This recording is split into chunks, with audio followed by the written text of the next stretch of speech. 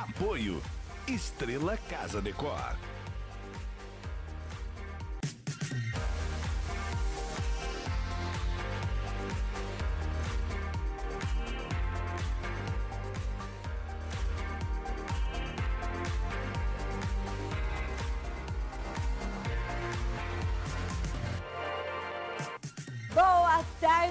Tarde, Três Lagoas, boa tarde meu amigo, boa tarde minha amiga, boa tarde o quê? Terça-feira sua linda, tá chegando na sua casa, tá começando mais um A Casa é Sua.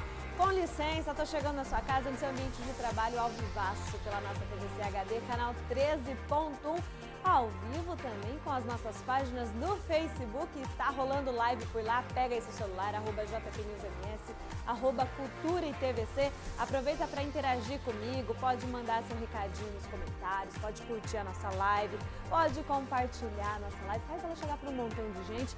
Mas se você quiser, pode me mandar um WhatsApp, manda um áudio, manda uma selfie, manda vídeo. Tô ficando com ciúme do Israel, viu? Você só manda um selfie com Israel e com a amiga Mari. Eu quero selfie comigo também. Manda lá no 99669 7152 são os nossos canais abertos para a comunidade. Hoje é terça-feira, dia 24 de maio, Dia Nacional do Cigano. E sabe o que mais que é hoje? Hoje é o grande dia, é o dia do nosso primeiro evento aqui em Três Lagoas, o RCN Ação 2022. Você já se inscreveu para concorrer a um dos nossos ingressos? Ó, vai assistindo a Casa Sua com o seu celular na mão para fazer o cadastro no nosso portal. Daqui a pouco eu te dou todos os detalhes de como é que você vai concorrer a um desses ingressos. Terça-feira é o dia do nosso quadro Ter Saúde, tem bate-papo aqui em casa também sobre educação, tem muita diversão, muito entretenimento, muita informação, então fica aí comigo. Vamos começar pelo nosso quadro Ter Saúde? Eu vou pedir para minha produção rodar a vinheta. Ter Saúde.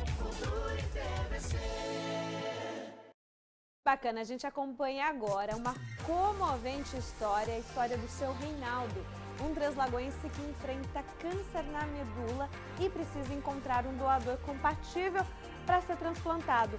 A filha dele tem feito um trabalho nas redes sociais incentivando mais moradores a se cadastrarem no Hemosul aqui da nossa cidade. Eu estive ontem na casa dessa família e conto tudinho para você como que vive essa família agora em uma reportagem. Vamos acompanhar. O treslagoense Reinaldo convive há dois anos com câncer na medula. No enfrentamento, ele lida com uma rotina que limita e tenta prolongar a vida. Toda semana, a filha dele, a Priscila, acompanha o pai no Hospital Auxiliadora para receber transfusão de plaquetas. A coisa que a gente consegue fazer exatamente é fazer a transfusão de sangue e, a, e as plaquetas, que baixam muito, né? Toda segunda-feira ele vai pro postinho, faz um hemograma, terça-feira eu levo ele pro hospital. E aí ele toma uma bolsa de sangue e sete de plaquetas. Normalmente é 150 mil para pessoa, né? As plaquetas têm que ficar. É, terça-feira tava 14 mil. E isso é um sinal de alerta, é motivo de preocupação? Sim, claro, porque quando baixa muito, é, fica, vai até para UTI, né? Ele não pode cair, pode ter uma hemorragia. O borracheiro já não exerce mais a profissão e está tentando se aposentar. Sem condições para trabalhar, ele tem sobrevivido graças a doações de amigos e de familiares. E relembra como foram os primeiros sintomas do câncer. Começou com sangramento no nariz. Mas quando começou a sangrar o nariz, sangrava um pouquinho, parava, sangrava, parava, aí teve uma hora que derramou, parecia que já estava abrindo uma torneira. Aí eu fui no postinho de saúde e ele disse que eu tinha uma veia do nariz que estava. É, tinha rompido, aí tinha que fazer uma cirurgia por dentro para cicatrizar ela, para fechar. E não parava de sangrar, era direto de sangrar. Aí eu passava ruim de mal. Até que eu cheguei a desmaiar por causa disso, do sangramento. Aí eu ia pro posto, tomava a bolsa de sangue. Aí de lá pra cá eu comecei a procurar médico. E vem daqui, vem dali, vai pro posto, vai pro hospital e procurando saber. E tudo isso sozinho? Sozinho. Por que sozinho? Véi. Teimoso. Que ele começou a emagrecer muito e a barriga começou a ficar muito grande. Eu achei estranho, né? E aí eu perguntei, pai, o que está acontecendo? Foi quando ele me falou que ele estava com câncer. A família vive uma corrida contra o tempo. Nenhum dos quatro filhos e nem os irmãos foram compatíveis com seu Reinaldo. Por conta disso, foi que a filha Priscila começou há algumas semanas uma campanha nas redes sociais, convidando os moradores de Três Lagoas a se cadastrarem no Hemosul. Qual é o tratamento? O tratamento é uma transfusão de medula óssea. Então, se você tem de 18 a 35 anos, procure o Hemosul de sua cidade e faça o cadastro, por favor. Um simples gesto seu pode salvar minha vida e a vida de outras pessoas. A única esperança do meu pai é a medula óssea. Não tem outra, outro tratamento, não tem como fazer químio, não tem como fazer rádio. É só medula óssea. Nós fizemos um post no primeiro momento, né? Pedindo, porque a única maneira que eu consigo ajudá-lo é fazendo propaganda. Então, nós fizemos esse post. É, outras pessoas entraram em contato comigo pedindo vídeo. E nós montamos um vídeo dele e estamos tentando compartilhar o máximo possível. Achar um doador de medula óssea compatível é difícil. Um em cada 100 mil. Por isso, quanto mais pessoas se colocarem à disposição, mais fácil fica e fazer isso é bastante tranquilo. Precisa apenas ir até o Hemosul para se cadastrar. Lá será feita uma pequena coleta do seu sangue e, se em algum momento for preciso, o próprio Hemosul chama essa pessoa para ser a doadora de medula óssea. A assistente social do Hemosul, Jaqueline Rovari, destaca que ninguém pode ser doador para algum paciente especificamente. O cadastro, que é feito no local, cai num banco de dados nacional. O cadastro da medula óssea ele é único, então você faz uma única vez e você vai atualizando apenas o endereço e telefone de contato. Qualquer pessoa que tenha entre 18 e 35 anos pode ser um captador. Então ele pode ser, ele pode vir fazer a captação, tirar um pouco de sangue. Esse sangue fica no redome. E aí, assim, a compatibilidade é um segundo momento. Então, ele não, não é para uma pessoa específica, ela fica no cadastro. E aí, qualquer, pode ser no Brasil, pode ser fora do Brasil, independente da questão da compatibilidade, essa pessoa pode doar para qualquer pessoa para se tornar um doador de medula óssea, o primeiro passo é se cadastrar no Hemosul. Para isso, precisa atender alguns critérios, entre eles ter idade entre 18 e 35 anos, gozar de boa saúde e não apresentar nenhuma doença do tipo infecciosa ou hematológica. Em meio a tantas turbulências, tem sido a fé que tem sustentado seu Reinaldo. O Três Lagoense que tem o coração dividido entre a esperança e sonhos a serem realizados. Mar. Conhecer a praia. Ah, isso. Mas nunca fui. nunca. É a fé que está mantendo? Sim. Deus já tem me mostrado muita coisa boa. E eu, através dessa criança que me falou isso, eu acreditei mais ainda.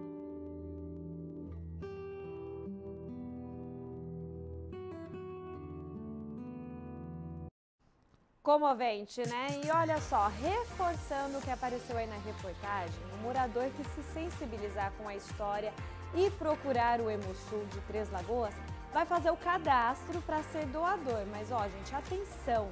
Essa pessoa ela não pode escolher para quem vai ser destinada essa doação. É aquela história, né? No fim das contas, quanto mais gente se cadastra, mais chances de encontrar uma pessoa compatível com o seu Reinaldo. E se você aí de casa não for compatível com o seu Reinaldo, pode ser que você seja compatível com outra pessoa na mesma situação que o seu Reinaldo. Vale a pena ajudar, né? Bom, vamos seguindo aqui o A Casa é Sua. Agora eu quero mudar o clima, mudar o assunto, porque antes de chamar o nosso intervalo, eu tenho uma super novidade para você. Um evento que o Grupo RCN está realizando, é o RCN em Ação, que é hoje, terça-feira, dia 24, vai ser lá no Papilon Eventos, aqui em Três Lagoas. Será o RCN em Ação com Eugênio Mussac. Quem acompanhou o programa TVC Agora viu que ele participou ao vivo. Foi só uma pequena participação de tudo que está por vir logo mais à noite. Eu estou super ansiosa, com a maior expectativa para esse evento, que, aliás, é um evento daqueles que certas coisas dinheiro não paga? Uma delas é o conhecimento, uma delas é a informação, a educação. Imagina você aí de casa ter a experiência de conhecer de pertinho esse grande profissional que é o próprio Eugênio Mussac. Incrível, né? Bom, então, por não ter preço, é que os convites não são vendidos. Você precisa acessar o nosso portal, você pode fazer isso pelo seu próprio celular. Acesse o rcn67.com.br barra rcnação. Lá você vai fazer sua inscrição para concorrer aos ingressos do evento. Depois de fazer isso, é só ficar atento, porque se você for um dos sorteados, a nossa equipe vai entrar em contato com você aí de casa. E aí, meu querido, minha querida, a gente se vê mais à noite, viu? Bom, antes de eu chamar intervalinho, deixa eu só mandar uns beijos, meu diretor.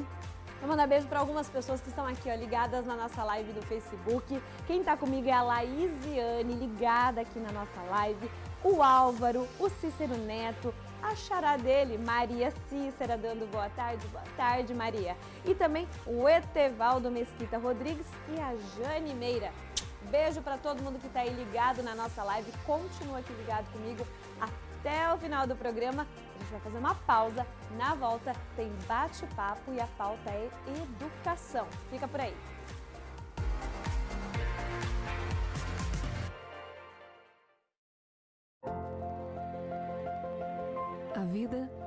Te dá garantias. Por isso, você deve estar seguro. A Conquista Seguros está há mais de uma década no ramo, com produtos, serviços e profissionais altamente qualificados, que adaptam às suas necessidades. A Conquista Seguros oferece seguro de vida, residencial, empresarial, de automóveis, agrícola e rural.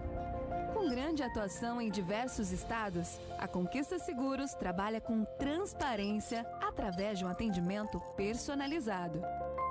Conquista Seguros, realizando e protegendo suas conquistas.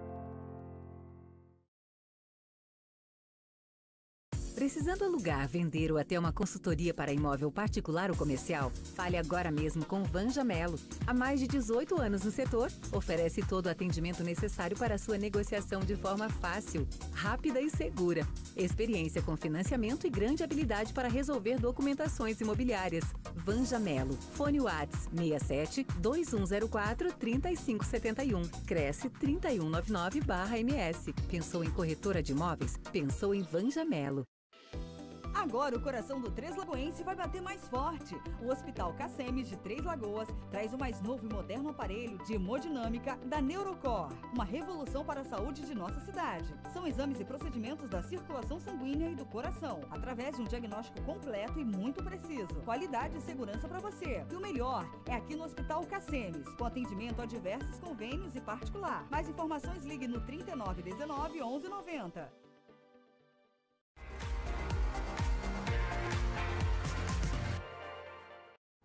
Já estamos de volta com a Casa é Sua e a gente segue o programa com mais um convidado. Eu vou conversar, estou recebendo aqui em casa o Henrique Regis Júnior, ele que é gestor de relacionamento institucional, corporativo e professor da Unigran. Seja muito bem-vindo aqui em casa, a casa é sua. Henrique, seja bem-vindo, boa tarde. Satisfação, muito obrigado pelo convite. É uma honra estarmos aqui hoje em Três Lagoas, num evento de alto nível Evento pois que é. podemos considerar um nível nacional e internacional, Sim. acompanhando tudo que vem ocorrendo nessa nova roupagem, nesse novo momento em que o mundo está se reestruturando, né? Sim, graças a Deus, né? O Henrique que vai participar da palestra à noite, é um dos nossos convidados, vai conferir de pertinho o RCN Ação, vai sentar na primeira fileira que é para não perder nada, né? Estaremos lá, com toda certeza. Mas essa visita especial aqui em Três Lagoas para o evento de hoje à noite arrumou um espacinho na agenda e veio aqui em casa. Obrigada, viu? Um prazer ter você aqui. Eu que agradeço novamente e estaremos sempre que for aí externado esse convite para estarmos aqui debatendo assuntos pertinentes que possa agregar conhecimento, trazer um pouco mais dessa nova visão né, de mercado que vem ocorrendo no novo mundo, Exatamente. mundo que nós constantemente se reestilizamos para que as coisas realmente dentro não só da educação, mas do mercado de trabalho também seja altamente competitivo, assim como Três Lagoas está se despontando não só aqui no Mato Grosso do Sul, mas como mundialmente. Fico feliz hoje, quando a gente estava comentando, que a cidade está totalmente cheia, né? Uhum. até um pouco mais do que se imaginava. Então vocês estão de parabéns pelo trabalho. A RCN tem mostrado a sua competência e também a tua preocupação com esse novo momento que nós estamos vivendo. É verdade, a gente aqui no, no Grupo RCN, a gente até brinca que 2022 é um ano de mudanças, né? 2020, 2021 foram anos mais apreensivos, estagnados, agora 2022 é hora de vamos trocar roupa, vamos agir, né? Vamos reagir. Mas é, eu gostaria de comentar, inclusive, Henrique, que você está de fato de visita aqui em Três Lagoas, porque você vem de Dourados, né? Então, de repente, o pessoal de casa não possa saber. O Henrique é de Dourados, está passando por aqui e nessa vinda veio aqui em casa. Pegando um gancho no que você falou anteriormente, né? Tendências do mercado que a educação precisa também se reinventar para atender essa demanda, né? É, vão surgindo demandas de clientes de formas de consumo, a gente precisa também criar essas profissões para atender esses clientes e também profissionalizar essas profissões que vão surgindo. Então a educação precisa estar sempre antenada e à frente do tempo. Exato. A educação ela é o montante de, de mudanças de todo o comportamento da humanidade. Com a educação você traz à tona as novas percepções e isso faz com que você se antene aquilo que será daqui para frente o, o ideal, o propósito, as necessidades tanto para o ser humano quanto para também para o mercado de trabalho. Nós, como instituição de ensino, nós nos preparamos constantemente para que esse comportamento ele seja uma evolução, não só dentro do cenário educacional, mas também para que reflita no comportamento dos seres humanos, das pessoas. Hoje eu, não, eu sou diferente do que eu fui há um ano atrás. Antes da pandemia se avaliava um tipo de perfil de cenário. Eu faço parte de uma profissão que ela se ramificou hoje em mais de 20 áreas de atuação distintas. E se eu não me especializar e buscar conhecimento muito mais amplo, eu não seria um mer no mercado de trabalho uma mão de obra altamente competitiva. Porque hoje a formação ele é apenas uma porta de entrada para as ocupações que existem de N formas distintas. E por isso que a, a instituição, a Unigran, ela faz parte desse contexto educacional e profissionalizante formando pessoas altamente competitivas e que têm a visão né, para um mercado muito mais competitivo. Um exemplo que eu sempre digo para os meus acadêmicos é: além daquilo que você busca aqui dentro, veja o que o mercado lá fora está absorvendo. É isso que nós estamos antenando. Por isso que nós, a cada momento que surgem essas mudanças comportamentais, não só aqui na nossa região, até porque nós, como estávamos falando, Mato Grosso do Sul tem se despontado, Uhum. está se tornando um celeiro do mundo, não apenas mais no Brasil. A Unigran ela já tirou essas barreiras, né? Há alguns anos, há cerca de 10 anos, nós também estamos presentes na Europa, no Japão, nos Estados Unidos. Nós somos uma instituição com orgulho de ser sul-mato-grossense, orgulho de ser do interior do estado do Mato Grosso do Sul. E isso fez com que nós com objetivos de entender aquilo que também ah, longe das nossas raízes, longe daqui do Estado, quais seriam essas demandas, trazendo esse comportamento para dentro de um centro universitário e fazendo com que o acadêmico enxergasse essas oportunidades. A gente está falando de uma instituição, a Unigran, que está presente em Três Lagoas já há um bom tempo, né? já há alguns anos, e que por aqui sempre foi no modelo EAD, o ensino à distância. Que vou compartilhar aqui com o senhor uma opinião assim bem leiga, mas de que muitas pessoas antes da pandemia tinham aí um, um certo preconceito com o EAD. A pandemia veio, provou para todo mundo que a questão da tecnologia, do à distância, do não presencial veio para ficar, que não seria algo temporário ali de pandemia. Novas profissões surgiram em virtude disso também. O senhor avalia que agora mais do que nunca caiu por terra esse preconceito, já a página virada, não tem por que ainda um dia imaginar que EAD não é compatível com ensino presencial. Essa mudança ela acompanha, inclusive, é, os perfis etários, uhum. esse comportamento das novas gerações. Meu filho já nasceu basicamente com um celular, com tecnologias na mão. E essa mudança pedagógica educacional transformou de fato, é porque a mentalidade do passado é imaginarmos que, é, vamos pegar um exemplo aqui, né, que a gente sempre é comum, é, imaginar que estudo é, era como o Telecurso 2000, aquele estudo que você tinha basicamente aí na, na TV, aprendia algo e... Precisava se deslocar até a biblioteca da sua cidade. Exato. E, e aí a coisa de, teria que acontecer, né, por mais esforço seu do que de fato competências que a instituição é, construía. Nós conseguimos ser pioneiros. A nossa instituição, para você ter uma ideia, ela foi a primeira que apostou no ensino à distância na modalidade via internet. Demais instituições, quando começou, elas utilizavam modalidade de transmissão via satélite. Quando você imaginava o tempo mudando, caía a rede e você não conseguia mais assistir. Então, esses paradigmas do passado nós trazemos como experiência para que nós conseguimos demandar as necessidades de fato do nosso acadêmico do interior. Por quê? Nós somos do interior. Uhum. Nós sabemos quais são as feridas que existem. Para você ter uma ideia, Tatiana, nós fomos pioneiros nessa grande mudança do perfil do comportamento do ensino à distância, porque a Unigran ela está presente há mais de 15 anos na Europa. E aonde que começou, infelizmente, a pandemia? Aonde que surgiu de fato? Foi na Europa, na Itália especificamente. Nossas unidades, nossos polos, eles trouxeram essa demanda. Três meses antes de estourar aqui no Brasil, nós já estávamos preparados para atender. Tanto é que não parou-se o ensino. E esse, essa mudança do, da, da modalidade do presencial para o EAD houve para nós um comportamento natural, porque a instituição ela tem é, por cultura, manter a mesma estrutura pedagógica educacional para o acadêmico, apenas mudando a modalidade de ensino. Os professores são o mesmo, o material é o mesmo, a estrutura é o mesmo, o diploma é o mesmo, não muda nada.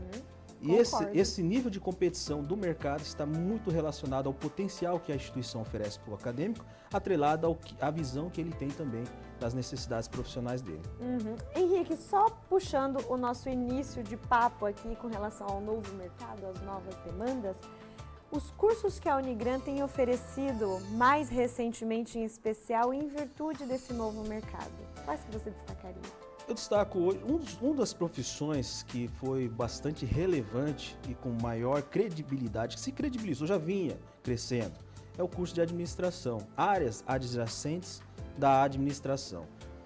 Hoje o mercado, as empresas, as organizações, elas estão no nível de competição que elas não estão com mais é, com aquela visão de, do, do tato de ter que falhar. A falha ela pode se tornar algo muito relevante e crucificante para o fator, infelizmente, até mesmo da sua falência. Então, uma das profissões que se destacou, além das áreas de humano, eh, recursos humanos, a relação humana, por mais que a máquina venha substituindo o homem, esse tato, esse elo que nós estamos tendo aqui hoje, esse bate-papo, não aconteceria. Mesmo que nós fizéssemos um trabalho muito bem, com toda a estrutura, com todo equipamento que a tecnologia nos forneça, esse essa relação humana ainda é importante. E um dos cursos que destaca, destacou-se nesse momento foi o curso de Relações Humanas, como Recursos Humanos, cursos na área de logística, cursos na área do agronegócio, pois Mato Grosso do Sul já se tornou um celeiro com visão estratégicas de rota. Olha só o que está acontecendo nesse momento no nosso estado: rota bioceânica, ferro-oeste, outras demandas. Três Lagoas recebendo um evento internacional. Sim que é um orgulho saber que hoje eh, Três Lagoas é a região maior produtora de celulose do mundo. Então esses destaques fez com que profissões vieram ser cada vez mais é, forte e a busca por esses profissionais cada vez mais relevantes. A senhora acredita que o pioneirismo é o grande diferencial da Unigran? De fato, sem sombra de dúvida. O pioneirismo ele traz para a sociedade um comportamento de idoneidade, de responsabilidade. Educação não é comércio. Esse é o primeiro ponto. Nós tratamos educação como formação. Ensino superior é buscar a qualificação para que você possa atuar no mercado com base, com estrutura operacionalizante. É aquilo, aquele ditado famoso de falar assim: eu sei o que eu estou fazendo. Uhum. É fazer muito bem aquilo que aprendeu dentro da instituição. Eu digo sempre aos meus acadêmicos: trate o seu diploma com orgulho, não apenas como um retrato numa parede. E este é um dos grandes gargalos e um dos grandes objetivos nosso como instituição. Uma instituição com 45 anos de tradição, começou no interior do estado, hoje com dois centros universitários dentro do estado do Mato Grosso do Sul, em Dourados, a sede, com mais de 10 mil acadêmicos estudando. Dourados se tornou uma cidade universitária. Campo Grande também com seu destaque do nosso centro universitário. Nós temos, estamos presentes hoje em 23 estados do Brasil, em mais de 14 países, sendo Estados Unidos, Japão e a Europa. Qual é a instituição de ensino que consegue entrar nos Estados Unidos competindo com hum. grandes instituições de ensino superior? Então, nós conseguimos essa credibilidade. Então, esse tato, esta visibilidade social da instituição é muito importante, assim como você citou. Estou muito orgulhosa de conversar com o senhor, viu? Estou muito feliz de falar com uma pessoa de dentro da Unigran, com todo esse gabarito. Tô até meio trêmula de falar com uma pessoa tão inteligente Isso. assim. Henrique, foi um prazer, foi uma alegria te receber aqui em casa. Espero que a gente possa prolongar esse bate-papo fora aqui do nosso estúdio, à noite também na palestra. Espero recebê-lo, estarei por lá. Vai ser mais uma vez um grande prazer falar contigo. Eu que agradeço e estamos à disposição. Estamos presentes aqui há mais de 10 anos em Três Lagoas. Já formamos mais de 2 mil profissionais aqui na região e é uma satisfação. Sabemos que estamos aqui fazendo parte dessa evolução, desse crescimento da região. Muito obrigado, obrigado à RCN. Estaremos lá hoje à noite. Com certeza. Então, até logo mais à noite, Henrique. Bom, a Casa Sua vai ficando por aqui. Deu minha hora, mas amanhã, se Deus quiser, a partir da uma da tarde, estarei aqui na sua companhia, viu? Então, se cuida. Um beijo e até amanhã. Tchau, tchau. Apoio Estrela Casa Decor.